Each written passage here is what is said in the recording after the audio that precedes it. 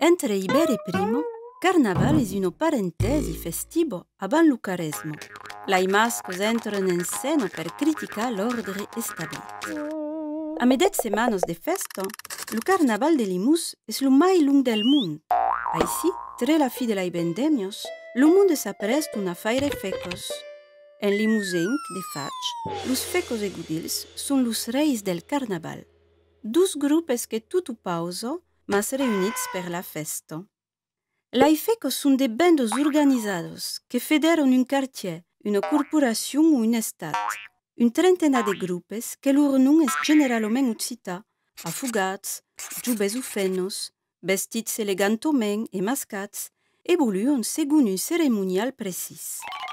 A l'inverso, los gudils cargon como vestits de vieios pimpaliaduros e clausuren lo corteggi a me un noto de funil.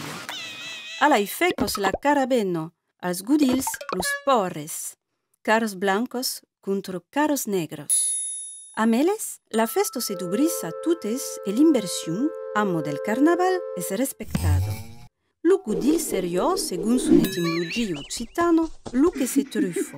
Pende la festo, son los princes de Cino. Te cuneisi? murmuron e menaça de revelar los secrets los mai escurs contro calco peso. A tal viroron fecos e gudils cada fi de semana fins a la nuit de la blanqueto. Lo Billy Musenco zalaro rei accompagna lo giugiument de Monsieur Carnaval. Es un onu per la fecos cada annado diferents que presidis un aquesto d'arriero giornato.